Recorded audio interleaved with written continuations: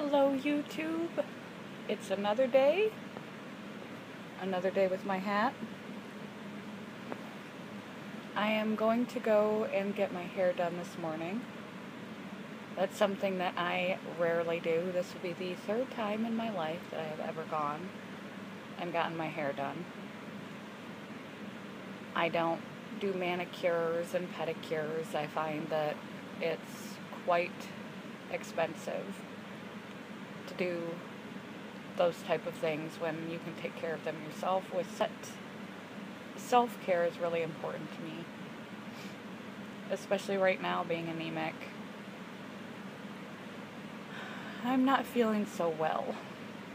I'm not able to do a whole lot. I took a walk this morning. I made it two blocks further than my walk the other morning. So that was good, and I made it through most of a work shift. I've got to get a resolution here. There's only so much spinach I can guzzle. I wanted to show you a before. I'm not typically a hat person either. This is the one hat that I own that's a product of capsuling my wardrobe. This outfit, snazzy, and show you some progress from capsuling and happy day. My bus is here. I gotta go.